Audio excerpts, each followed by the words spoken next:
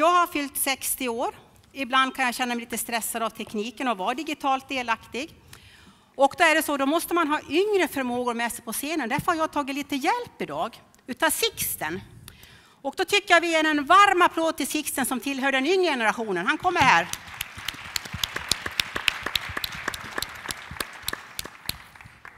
Tack så mycket, då kan du gå. Ja, jaha, nej, nej, det där var inte Sixten. Det här är Sixten. Det här förstår ni, det är min följeslagare sedan ett och ett halvt år tillbaks i tiden. Och eh, idag så blir Sixtens uppgift att han ska hålla ordning på mitt manus här, förstår ni. Det var inte dåligt va? Bara jag hittar också, där har vi det. Man är väl en uppgraderad mormor? Har vi några mormödrar här? Är ni uppgraderade? Visst är det härligt med barnbarn när man får lära sig mycket av dem. Men nu ska vi se här vad våra deltagare här idag har att säga och vi ska faktiskt börja med dig Lars. Du har ju tagit, eller gjort en enkät på uppdrag av digidel.se som handlar om Vem får jobb? Och du har intervjuat personalchefer. Det stämmer va? Ja, inte intervjuat men väl gjort en enkät. En enkät har ja. gjort ja. Och då får du sex och en halv minut till ditt förfogande här och okay. presentera. Och vi har en klocka där, ni som, som jag undrar vad är det för liten dator som står, det är en klocka där. Så att, eh, är du inte klar på sex och en halv minut så då ringer jag i den stora klockan. Bäst jag börjar, jag undrar just om det här funkar. Där, Varsågod titta, Lars. Titta, titta, det kom fram där. Ehm, ja, det är den här frågeställningen som eh, jag har haft till ett antal personalchefer som jag eh, gjorde en enkät till i våras. Och eh, det enkla svaret det är egentligen att ja, det beror på. Eh, och eh, det enkla svaret är egentligen just att beroende på vilken situation det är så är behovet av digital kompetens varierande. Ehm, sen så kan man ju inte uttrycka sig så förenklat som svar på detta. Vad vi gjorde det var att vi identifierade ett begränsat antal påståenden, närmare bestämt sju stycken, som rörde både teknik och användning utav eh, digitala tjänster. Jag ställde de frågorna och eh, tog då reda på, på en graderad skala från 0 till 5 vad vi fick för resultat.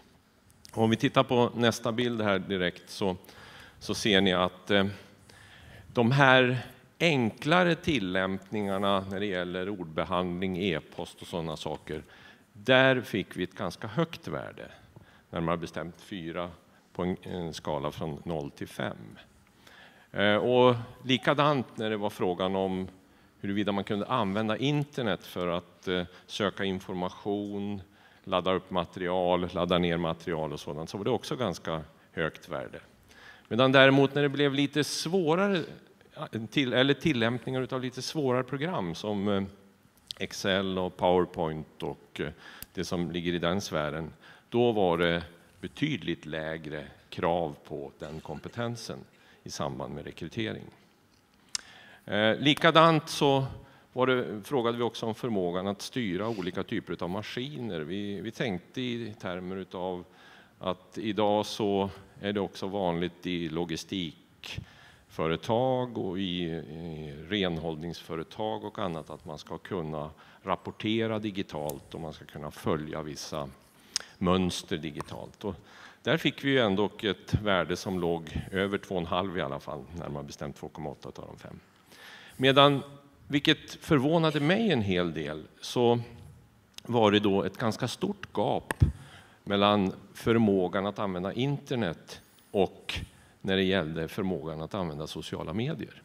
För där var det inte mer än 1,3 på den här skalan. Och det kan man reflektera över vad som skulle kunna vara orsaken till det och det kan vi väl komma tillbaks till. Eh, jag hade inte möjligheter att eh, bryta det här på ålder och kön på de personer som har svarat. Jag skulle kunna tänka mig att jag hade kunnat eh, hitta en del saker som är relaterade till detta också. Medan det, det sista området gällde eh, om äldre medarbetare Och där var det väl genomgående så att eh, många tyckte att de äldre medarbetarna skulle behöva uppgradera sin förmåga. Och med äldre medarbetare så menade vi helt enkelt de som redan är i företaget. Så att eh, slutsatsen är att eh, personalcheferna är inte så där väldigt angelägna om att man är digitalt kunnig. Det ligger så att säga lite grann på ett snitt skulle man kunna säga. Tittar vi sen på, det fanns möjligheter också att eh, bryta det här på lite olika sektorer. Har vi inte kunnat ta med alla sektorer för att vi, vi hade lite för låg svarsfrekvens på sina håll. Men inte särskilt förvånande så är det ändå så att det som gäller utbildning och företagstjänster och sådant, där har man eh, klart högre krav än genomsnittet på den digitala förmågan. Ehm, handel, vård och omsorg och sådana tjänster, där var det ganska på snittet medan, vilket jag kan tycka är lite märkligt då, offentlig förvaltning, försvar låg lågt. Tillverkning, utvinning och transporter och sådant låg också lågt, vilket kanske inte är så väldigt konstigt. Ehm, syftet var, jag tänker inte gå djupare i själva undersökningen, men syftet var ju ändå att försöka värdera ehm, vilken risk är det för de som står utanför arbetsmarknaden idag ehm, om de också har svag digital förmåga. Är det också en form av funktionsnedsättning skulle jag kunna använda som uttryck för att inte säga handikapp. Eh, och jag tror faktiskt att det är så och jag tror att det är någonting som kommer att eh, växa framöver. Ehm, jag var och träffade ett stort ehm, konsultföretag, ett globalt konsultföretag för någon vecka sedan. Och då berättade de där att ehm, där har de gått så pass långt så att den högsta ledningen mäter i hur hög grad som deras chefer använder sociala medier. Och då alltså ur ett positivt perspektiv. De menade att eh, sociala medier är någonting som är viktigt att använda sig utav för att hålla kontakter, knyta kontakter och eh, skapa kreativa mötesplatser. Och då var det inte enbart eh, interna sociala medier, för det kan man ju också tänka sig att man har ett företag där man bara jobbar internt, utan det här var överhuvudtaget. Eh, och eh, ska man sen fundera på eh, ur ett arbetssökarperspektiv så ska jag spara den frågan för jag tittar nu på klockan och ser att min tid är ute. Bra Lars, jag tänkte det fixar det själv, vad bra. Jättebra hörru. Eh, spännande, du sa att eh, det förvånade dig lite grann det här med eh, sociala medier. Var det någonting annat så som du blev förvånad av, av den enkäten ni gjorde eller bekräftade det mer den bilden du hade? Stärkte det den? Eller? Ja, alltså, det finns en annan sak som jag egentligen reflekterade mera på. Det var just svårigheten att få fram respondenter som vill svara. Okay. Det säger ju också lite grann om att vi kanske idag har en så stor, tack vare de digitala Eh, medierna så stor möjlighet att ställa väldigt mycket frågor att enkättröttheten börjar på att slå igenom. Mm. Frida, du som representerar företagarna och när du har hört henne väldigt kort som Lars sa om sin enkät han har genomfört där. Var det något där som förvånar dig eller? Eh, nej, kanske lite att man, jag kan tänka mig också att man, man behöver eh, IT generellt mycket, mycket mer än vad man, vad man tänker eh, det var Excel och det var Word, det var mejlprogram. Men i princip kan du inte gå in på en industri idag och byta, byta en glödlampa utan att du är dataingenjör. Så jag tänker att de här programmen finns ju. Jag vill minnas också när jag läste din rapport att det fanns där det fanns liksom underliggande att vi ändå har en massa system på företagen men vi räknar dem inte som IT. Och det, det borgar för det du säger, för jag instämmer. Jag tror att man måste ha viss kunskap. Man måste klara sig med en dator, med en, med en eh, smartphone för att faktiskt vara aktuell på jobbet. Och det, jag tänker lite grann på det här med sociala medier då, att när jag började som, som regionchef för företagen, det är snart fem år sedan i mars, så var en av de första casen jag fick, alltså jag fick företag som ringde till mig och sa att vi måste stoppa det här användandet av Facebook på arbetstid. Vi måste ha kurser i det. Det här är arbetsrättligt helt förskräckligt. Vi måste kunna starta upp där och skriva in det i avtalen. Inget Facebook på arbetstid. Och jag har inte ett ljud om det nu, utan nu är det liksom en, en, person som inte finns någonstans på de sociala medierna är egentligen inte anställbar. Mm. Så jag tror att det här kommer att accelerera. Birgitta, en reflektion från dig över den här undersökningen. Sen tänkte jag, var lite nyfiken på också att höra här, Facebook på biblioteket, får personalen vara ute på Facebook? Först en reflektion då på undersökningen så ehm, tänker jag också att det här måste vara en tidsfråga innan det ställs väldigt höga krav tror jag på digital kompetens. Det vi märker på biblioteket är ju att de som inte, de som inte kan söka jobb digitalt, alltså alla jobb måste ju sökas digitalt idag, kommer till oss och frågar om hjälp. Och även hur man skriver ett CV har vi också frågor om. Ehm, så det, det är ju inte bara det här att man ska... Man kommer ju faktiskt inte in att kunna söka jobbet om man inte har en digital kompetens idag. Um, när det gäller på biblioteket så är det så att eh, där kräver vi ju att våra medarbetare ska vara digitalt delaktiga i sociala medier. Alla behöver inte vara det. Än så länge är det inte krav på att alla ska vara det. Men eh, av 15 anställda hos oss så är det i alla fall 10 som är aktiva på vår Facebook-sida och hjälper till att bevaka våra Twitterkonto och liknande. Och när vi har anställt folk, jag har varit med om att anställa tre personer sedan jag kom till Mjölby som bibliotekschef, så har det ju varit ett krav, absolut, att man är aktiv mm. på sociala medier.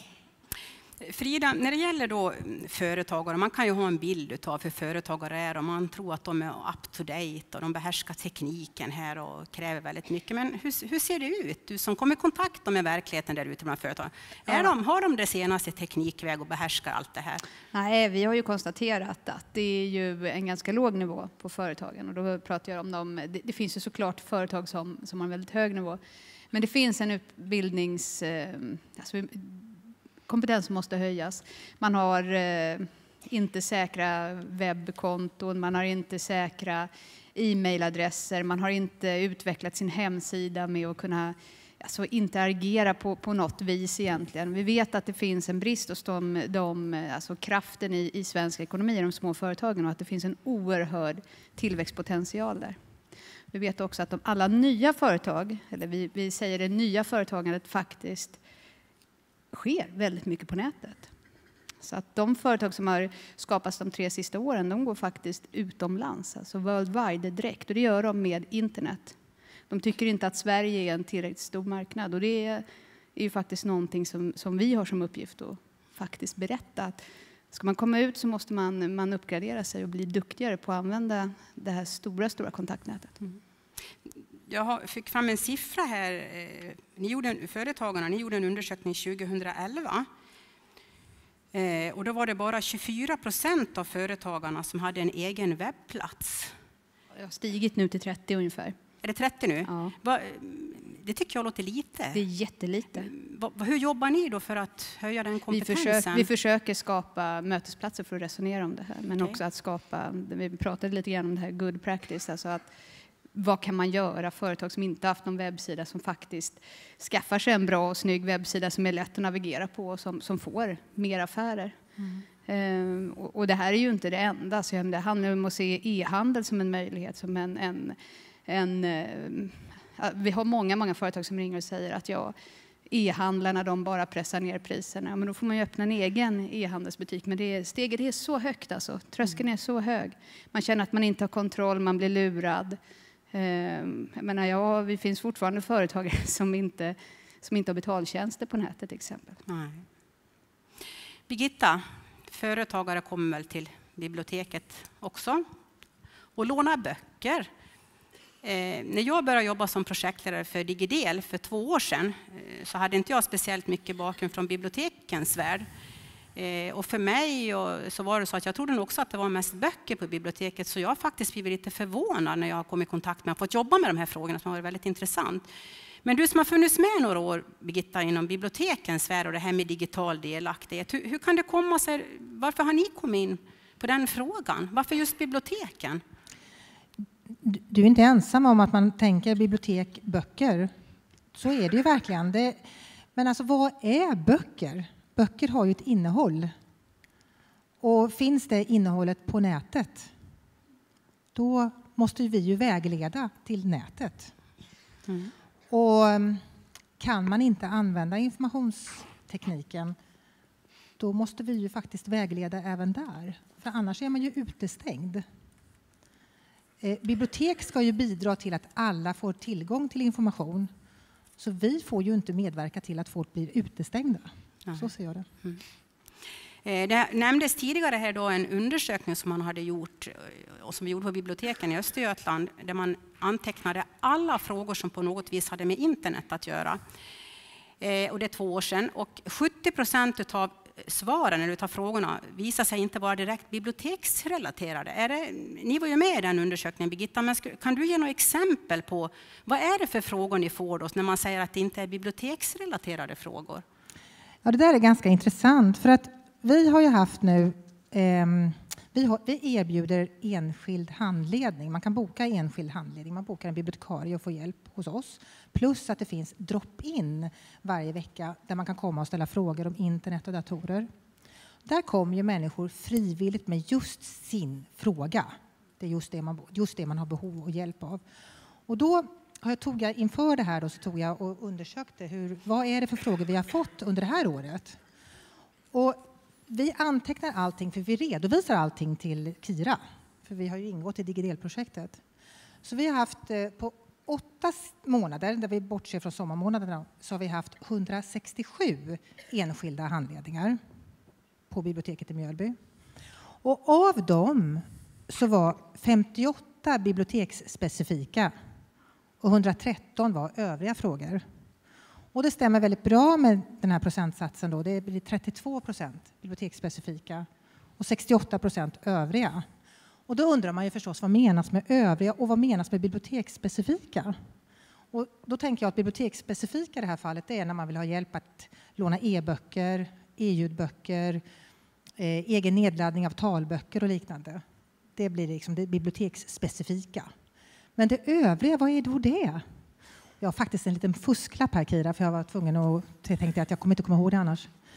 Men alltså det är allting som har att göra till exempel med Östgötatrafikens tidtabeller som bara finns digitala, bank-id, köpa biljetter, skaffa e-post, Google Map, SVT Play, poddradio, Facebook, starta konto på Twitter, ladda ner antivirusprogram. Alltså jag kan hålla på, jag har en lång mm. lista här. Mm. Då är frågan, ja, det kan man ju säga, det är ju inte riktigt biblioteksspecifikt, men det är ju någonting som man behöver ha hjälp med som man kommer in och till exempel telefonkatalogen. Förr fanns telefonkataloger på alla bibliotek. De finns inte idag, de ges inte ens ut i pappersform. Och det vill man ha hjälp med, att hitta telefonnummer. Och det våran tanke är ju att man ger hjälp till självhjälp. Det ska inte vara så här att man ska behöva gå och fråga någon om hjälp för att hitta ett telefonnummer. Utan vår målsättning är ju att man ska få hjälp så att nästa gång klarar jag mig själv. Frida, om man är företagare, då går man till biblioteket för att få hjälp. Eller vart går man då om man vill höja sin kompetens? Jag, eh, dels så tror jag faktiskt att man, jag, ser en viss eh, dragning åt att man börjar anställa folk hos sig som har den här kompetensen och som kan hjälpa till att lägga upp en strategi. Och sen så finns det ju faktiskt oerhört många företag som är riktigt duktiga på det här och som säljer sina tjänster och som gör en, men en företagare tror jag inte tänker det är nog personen som, som går till biblioteket tror jag, som är så driven. Men sitt företag, där är man för att göra affärer. Och så fort vi börjar kunna leverera det här att internet kan ge dig bättre lönsamhet, snabbare vägar och nya kunder. Och den, den koden har vi inte riktigt knäckt ännu, hur vi, hur vi ska liksom marknadsföra det här. För nu är det ju jättemånga företag som faktiskt är oändligt duktiga och som också säljer de här tjänsterna. Eh, och jag vet att de, eh, de har en ganska... Vi ska presentera en småföretagarbarometer om några dagar och där kan jag se att tjänsteföretagen inom just den här sektorn går väldigt bra just nu. Mm. Du var inne lite grann på e-handel här. Jag fick fram på några siffror här. Det fanns ju ett mål att vi skulle nå 500 000 fler, inom, få fler digitalt delaktiga inom Digidel-kampanjen här. Eh, och skulle man lyckas med det när det gäller e-handel då, så om, man, om de här 500 ska börja handla så skulle det innebära en omsättningsökning för svensk e-handel med 2 miljarder kronor, en tillväxt på 7 procent.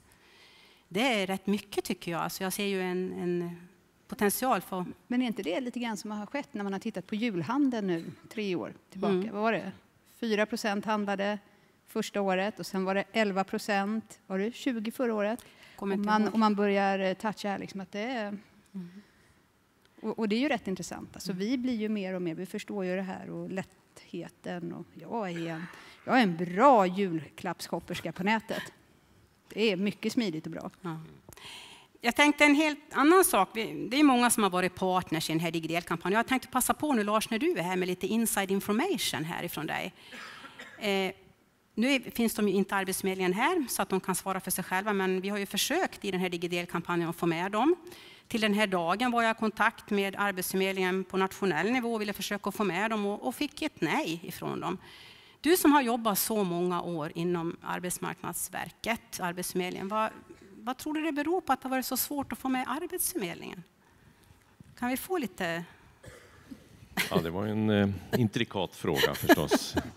Jag har ju varit eh, borta därifrån nu i fem och ett halvt år så att eh, jag känner, det kanske inte har hänt så jag känner inte att jag behöver ta ansvar för att de Nej. inte är här. Men, men eh, alltså om man... Jag kan gissa för det första att det är så här att om man tittar några år tillbaks i tiden på vad som har hänt inom Arbetsförmedlingen så man kan väl lugnt säga att det har varit lite turbulent. Och man kan också säga det att de har fått ett väldigt utvidgat uppdrag under de senaste åren. De har också fått mycket mer resurser. Eh, jag tycker att det hade varit eh, klädsamt om de hade varit här, så kan jag säga. Eh, jag tror att de skulle ha kunnat göra nytta här och det skulle också ha kunnat ge Arbetsförmedlingen en del input i sammanhanget. Därför att, för att spinna vidare på, på det temat, så jag menar det sker 1,3 miljoner externa rekryteringar per år i Sverige. Mm. Eh, alla de går inte via Arbetsförmedlingen. Och om man då ska titta på arbetslöshetssiffror och det stora antal människor som är utanför arbetsmarknaden och fundera på deras konkurrensförmåga ur ett digitalförmågeperspektiv så vet vi att alla som håller på inom det här området säger ju att bygga nätverk är någonting som är väldigt viktigt när man ska försöka att hitta jobben och i synnerhet hitta de jobb som inte kommer ut på marknaden.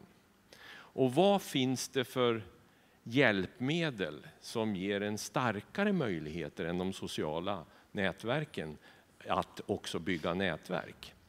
Och att skaffa sig information. Och att exponera sig.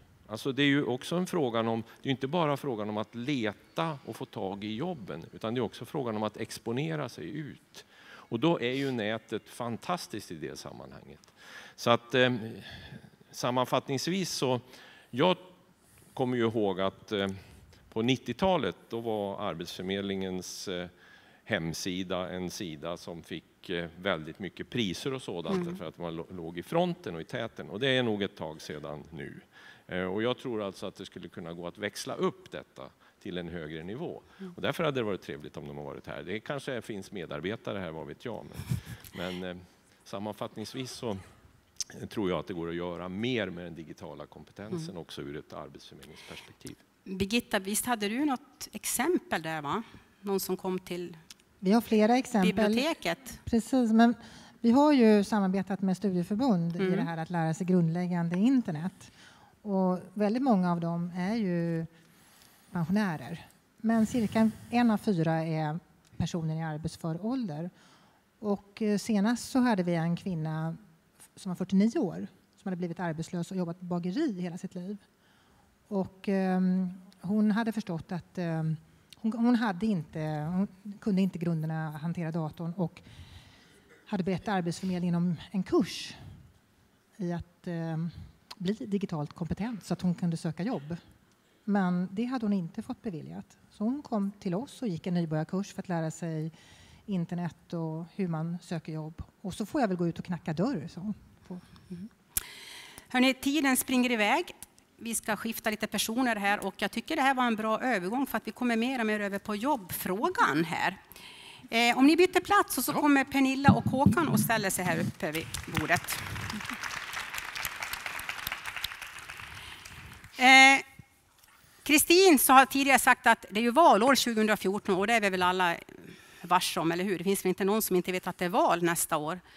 Eh, och eh, det här med digitala medier är väldigt viktigt och jag skulle egentligen vilja börja ställa en fråga om vi tittar ut över publiken. Vi ser det är svårt med alla lampor här, men mm. Facebook har vi varit inne på. Det skulle vara kul att veta hur många här är med på Facebook? Wow! Och ni två är också med på Facebook och där är ni med på Facebook. Hur många här i publiken är det som är kompis med Håkan eller Pernilla? Upp med en hand. Nej, men, vad, vad har ni gjort? De visste alltså, om oss än. Snacka här nu om att, alltså nu har vi här, nu ska vi se, vi ska hålla på till fem i halv. Nu har ni världens chans här att värva kompisar och röster till det här supervalåret. Men de kommer aldrig att hitta mig därför att det är felstavat. Jag stavar Pernilla utan R. Och det är ja, det min Twitteradress också. Pernilla. Men då vet ni, Pernilla mm. utan R. Ja. Eh, jobbfrågan, det vet vi ju. Ni trummar ut det väldigt mycket från sociala medier. Det är jobben, det är jobben, det är jobben. Men jag undrar det här med digital delaktighet som vi har hört här flera gånger under dagen och vi har allihop liksom vittnat om utifrån EU och överallt att det här är så viktigt. Är det en valfråga? Vad säger du Pernilla? Kommer det att vara en valfråga för er? Alltså det är ju en valfråga alltid med delaktighet i samhället. Alltså det kan man ju aldrig tappa bort någonstans. Därför att kunna vara delaktig så är det klart att internet och, och kunna söka information har ju blivit mer och mer viktigt. Jag ser ju också att det är väldigt stor skillnad. Jag har barn som är, är vuxna och, och, det är skillnad till och med där. Fast man tycker att alla ungdomar, säger man ju då, är, är jätteinne på allting som har med, med datorer att göra eller IT. Men så är det ju inte, utan det är väldigt stor skillnad där också. Att spela spel är inte samma sak som att kunna söka information eh, och, och, kunna hantera andra program. Mm. Så att, eh, jag tror att vi har ett allmänt politiskt ansvar att se till att civilsamhället, vi pratar ju här om, om bibliotek och studieförbund, att, att man samverkar kring det privata, offentliga och ideella. Mm. Det tror jag är jätteviktigt. Håkan, vad säger du? Jag tror inte alls att det blir en valfråga. Inte på något sätt alls tror jag det. Möjligen i landsbygden, glesbygden, där partierna kan driva fram frågan om Eh, bredband, eh, mobiltelefontäckning och liknande. Och där tycker jag det är självklart att staten ska ställa större krav på de operatörer som finns i samband med tillståndsgivningen så att eh, det också sprider sig. Även om vi ligger väldigt bra till så stora delar av landet är det väldigt svårt ändå att driva verksamhet och fungera socialt med den, i den takt som bredbandsutbyggningen pågår. Möjligen den delen, men digitala delaktigheten i övrigt tror jag inte alls blir en valfråga. Varför inte då? Nej, därför att jag tror att vi... Politiken går väldigt sakta. Politik går generellt sett sakta och de allra flesta medborgare i vårt land, tror jag, anser att det här är en sak upp till den enskilde att avgöra huruvida man ska vara uppkopplad och eh, finnas tillgänglig i sociala medier och vara kunnig på detta område. Men för min utgångspunkt är det inte alls på det sättet. Det är ett samhällsansvar. Det är på samma sätt som det är ett samhällsansvar att läsa människor att läsa, så är det ett samhällsansvar att vara digitalt delaktig. Så jag har inte den uppfattningen, men jag tror att vi fortfarande väldigt många, också i riksdagen, anser att det här är nog en privat sak, huruvida du ska vara delaktig eller inte. Jag tänker på att det, det är ju en, en, diskussion hela tiden och speciellt för ett tag sedan så var det ju en stor diskussion kring det här med Instagram, Instagram-målet i Göteborg till exempel. Vi har eh, ja, det här med skärpt lagstiftning då, kring vad man får säga då i sociala medier exempel, eller på internet om andra människor. Eh, och jag tror att just det är också en fråga om digital delaktighet. Att, att inte minst föräldrar är delaktiga i vad deras barn gör på nätet. Det är ju en utbildningsfråga i allra högsta grad. Mm. Att man faktiskt vet om var de är, vilka sajter de är inne på, vilka sociala medier som de använder. Mm. Och det tror jag många föräldrar behövde veta väldigt mycket mer om. Mm. bara för att försöka sammanfatta kort det här. Du säger inte en valfråga, men du tycker det är viktigt. Du tror att det kan vara en valfråga för ert parti? Är det Alltså, rätt uppfattat? ja, alltså Just del- själva digital delaktighet pratar jag om nu. Ja, alltså varför inte? Men det handlar om så många saker. Ja. Ja. Okej. Eh, vi hörde ju här förut Anna-Karin Hatz, eh, statssekreterare där, att han pratade om att alla i arbetsför ålder ska kunna använda internet och vi ska bli bäst i världen i Sverige på det här. Hur tycker du Pernilla att regeringen, ja, du får ju företräda regeringen lite grann här nu då. Hur tycker du att regeringen svarar upp mot det här och jobbar mot de här? Det är ju högt ställda mål man har. Hur, hur tycker du man har jobbat mot det? Ja, det är väl eh, nuvarande regering som har tillsatt den här eller drivit det här digidel eh, projektet, till- anslagit pengar till det, så jag tycker väl att det har varit väldigt bra. Ehm, men sen handlar det ju om också att, att eh, eh, Europarådet till exempel har tagit en målsättning om att hela Europa ska på något sätt vara mer uppkopplade då eh, till 2015 och då har vi bara två år kvar, knappt. Ehm, och det är ju just för att öka den totala digitala delaktigheten i samhället. Men det går ju naturligtvis att göra mer. Och Håkan var inne på det här med bredbandsföreningar och, och sådana saker då som lokala projekt driver. Och jag tror att det är ju fortfarande jätteviktigt i hela Sverige. Eh, och det kanske man inte behöver stötta från staten, men eh, det finns EU-projekt inte minst som är viktiga för, för eh, den utbyggnaden. Då. Vad säger du Håkan, hur tycker du att den här regeringen har arbetat mot det här målet att vi ska vara uppkopplade allihop och vi ska kunna det här allihop? Har man, har man jobbat bra med det? Nej, ingen lust att recensera regeringen alls, utan det kan alltid göras mer eh, på dessa områden. Men grundinställningen måste ändå vara två. Det första är, är det en sak, ett åtagande som är individuellt eller är det kollektivt? Det måste vi döma av först. Jag anser att det är kollektivt. Det främjar vår tillväxt, vår konkurrenskraft med omvärlden, Eh, vår välfärd om vi minskar den här digitala klasskillnaden som ändå finns. Även om det går åt rätt håll så finns den kvar. Därmed menar jag att man kan inte säga att det är upp till dig att visa intresse. Det är upp till föreningslivet, det är upp till någon annan, PRO-organisation eller någon att lösa det här. Det är ett samhällsansvar. Det ligger på statsministern, det ligger på regeringen, det ligger på kommunstyrelsens ordförande. Det ligger inte på bibliotekschefen. Det ligger på kommunstyrelsens ordförande i en kommun. Det ligger inte på PRO-ordförande, det ligger på kommunalrådet. Alltså det är den nivån på det. Det är ingenting man ska skjuta ut och säga det här får ni syssla med allra längst ner där. Det får ni ta hand om i studieförbundet Vuxenskolan. Medan vi ägnar oss åt att bygga vägar och gator och liknande. Alltså det måste lyftas statusmässigt och säga att det här är ett kollektivt ansvar. Det tycker jag är den första åtgärden. Och det andra är att marknaden klarar inte det här. Man klarar sig kanske mot köpstarka grupper i, i tättbefolkade områden. Men i glesbefolkade områden där man inte är så köpstark, där är det svårare att hinna, ekono- finna ekonomi i detta. Så samhället måste vara engagerat i större utsträckning än vad det är idag.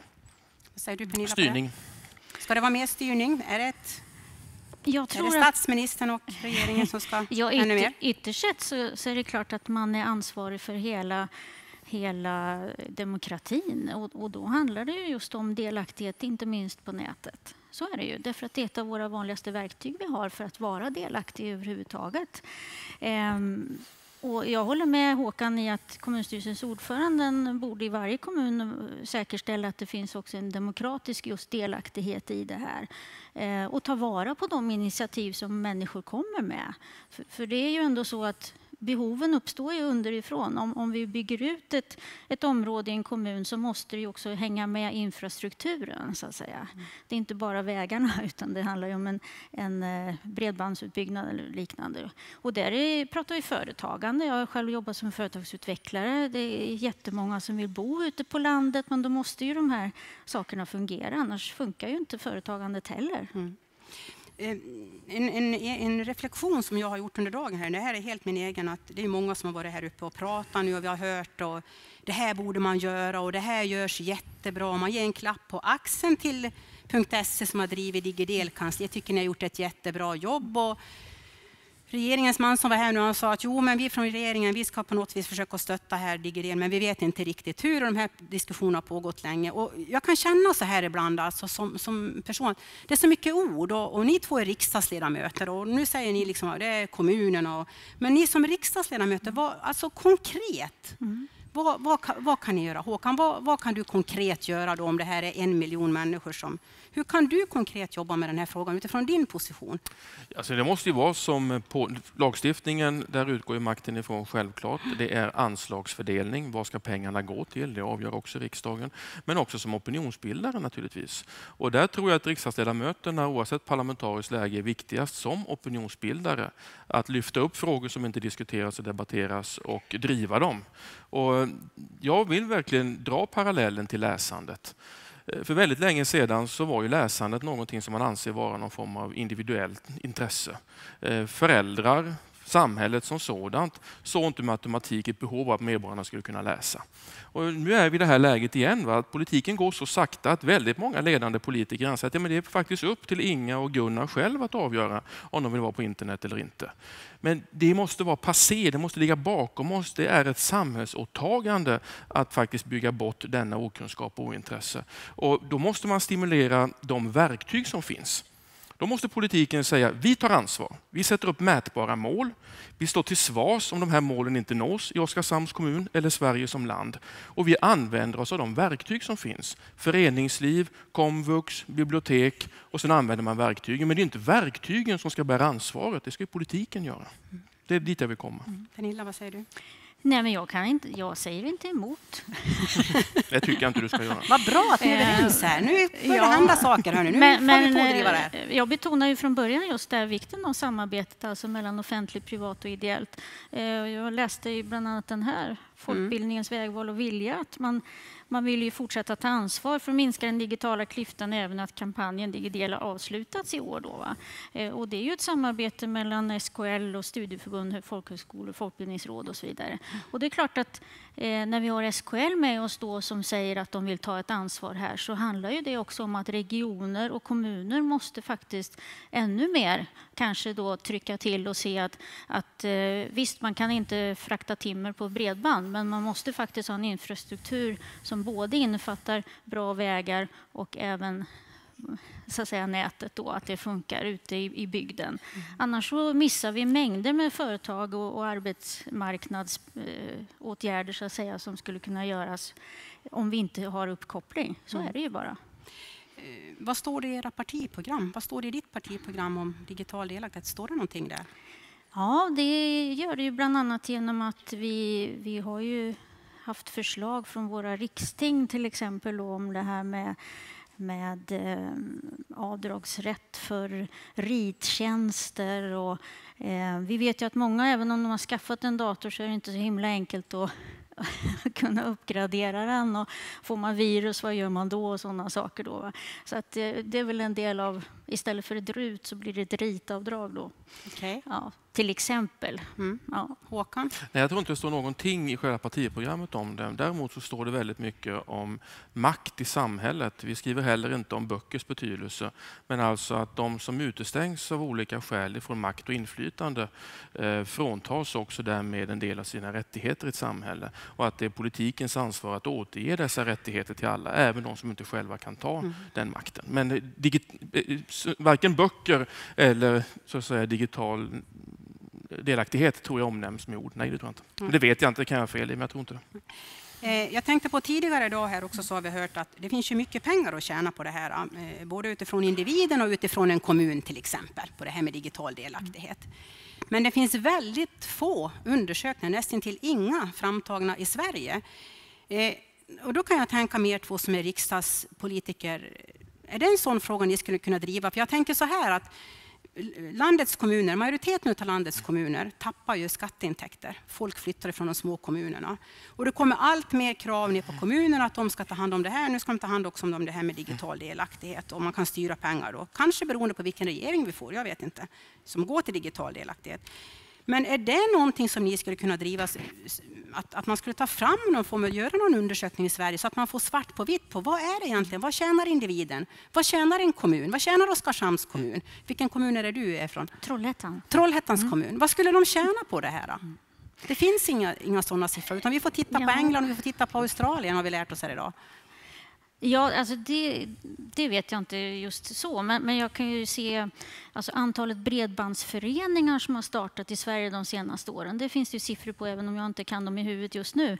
Men alltså det har ju ökat ganska dramatiskt under de mm. senaste fem, tio åren. Mm. Eh, och det beror ju på just ett lokalt behov där det finns människor som har startat upp, kanske ibland med hjälp av, av eh, LIDER-medel, då, alltså mm. EU-medel som man kan använda på lokal nivå för att utveckla det här. Så det är ju ett sätt att, att eh, driva på då och kunna använda EU-medel, vilket jag tycker är väldigt bra man kan mm. göra för det här. Då. Um, så det är ju ett sätt att stötta just utbyggnaden. Mm. så. Absolut. Jag tänker mer på, inte på bredbandsfrågor, utan jag tänker mer på för individen kan det vara tidsvinst, ja. man sparar in resor, man sparar in på Visst. miljön, ifrån kommunen sparar man också pengar. Håkan, hur, är det en sån sak ni skulle kunna tänka er ja, att jobba för? Absolut, det är ingen partiskiljande fråga, utan det är egentligen bara att något departement ger det uppdraget till en myndighet så levererar man det på några månader. Mm. Så det behöver inte riksdagen blanda sig i egentligen.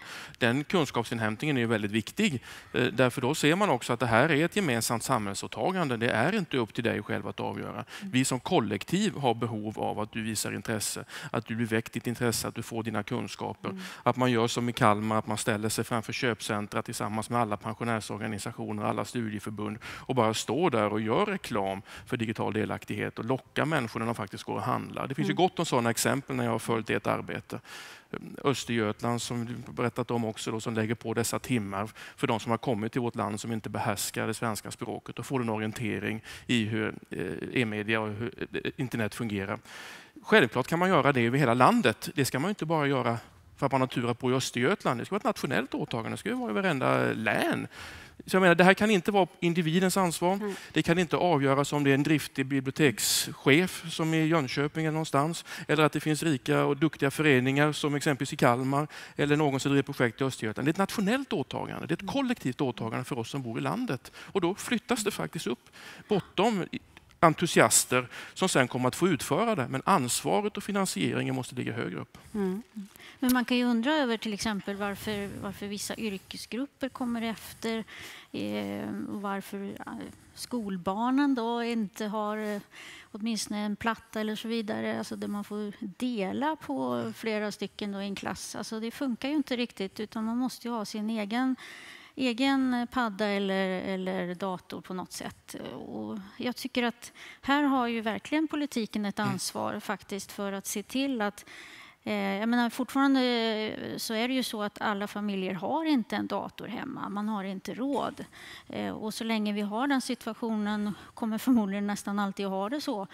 Vilket jag i och för sig hoppas att vi slipper. Men, men alltså då har skolan en jättestor roll att spela där. Att man faktiskt får tillgång till, till dator där och inte ska behöva dela med kanske tre, fyra andra. Så att, ehm, mm. det, det tycker jag verkligen politiken ska ta sitt ansvar. Men jag, jag, håller med i detta och dessutom måste vi komma på att vi står inte just nu så att säga, vid skapelsens krona utan allting fortsätter och det kommer gå ännu fortare. Absolut. Så det som är det mest avancerade just nu det är ju helt obsolent om ett halvår, eller två eller tre ja, år. Så vilket gör att de strukturer vi bygger upp nu med gemensamt ansvarstagande för varandra måste följa med i teknikutvecklingen. För annars bygger vi in en ny underklass med den gårdagens teknik. Det är som att skriva, skicka brev med brevduvor. Det kommer ju inte funka när vi väl har lärt det. Så vi må, det måste ju vara ett ständigt pågående precis. projekt som ja, förändras hela tiden. Ja. Mm. Hörrni, vi gör så, vi har några minuter kvar. Om ni också kommer upp och ställer er här. Och sen, jag har sett på Frida, hon har suttit nästan, åh, oh, jag vill ställa en fråga, jag vill ställa en fråga. Varsågod, Frida. Slutet här med skolan. Ja. Därför jag, jag, tänker att digital delaktighet börjar där. Eller jag tänker att all demokrati börjar där i att få samma möjligheter och också få reda på sina rättigheter. Eh, företagare, de kommer lösa det här. Därför så funkar entreprenörer. Så fort de börjar se tidsvinster, eh, nya marknader, så kommer de hitta på.